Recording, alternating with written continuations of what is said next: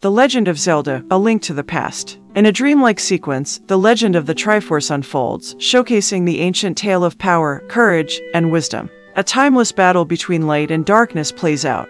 Three pieces, embodying power, courage, and wisdom, unite to create the Triforce. A hero emerges, wielding the Master Sword, destined to protect the realm. A dark antagonist, seeking dominion over the Triforce's might, schemes to claim its power for selfish gains. The struggle between these forces shapes the destiny of Hyrule, foretelling a chosen child who will draw the Master Sword and bring balance. A voice pierces through. Hey, hey, wake up.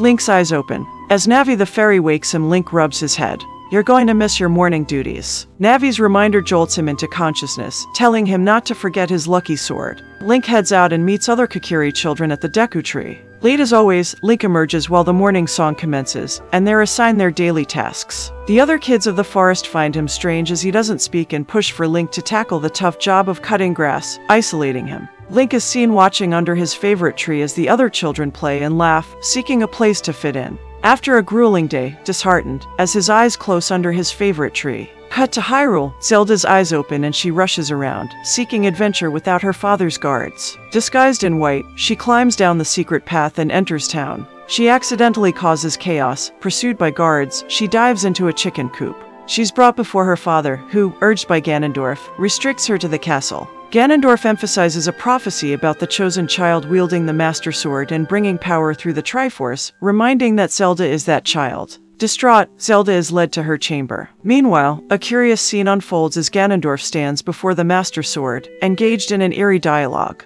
Within the blade, an imprisoned malevolence yearns for freedom, its sinister whispers seeking release, and that the time is near. Zelda plays her harp and sings about being free, yearning to explore alone. Emotional, she runs out, heading into the woods. At the same time, Link, atop his tree, converses with it about finding his place. Both run towards each other and bump into each other. Link listens as Zelda expresses herself, wanting to be free, wisely talking herself into returning. As she runs, she drops her Triforce necklace. Link goes to sleep, feeling encouraged by Zelda to find his courage. Link wakes with energy ready to speak to the Deku Tree. Upon seeing Link's bracelet, the Deku Tree advises him that it's time to find himself. His quest must start at the Lost Woods, suggesting answers lie within, despite the journey taking several years. As Link and Navi navigate the labyrinthine expanse of the Lost Woods, they sit and find warmth under a campfire playing his favorite lullaby. The ethereal surroundings trigger a profound awakening within Link's memories. Visions of his past cascade through his mind, revealing a poignant tale.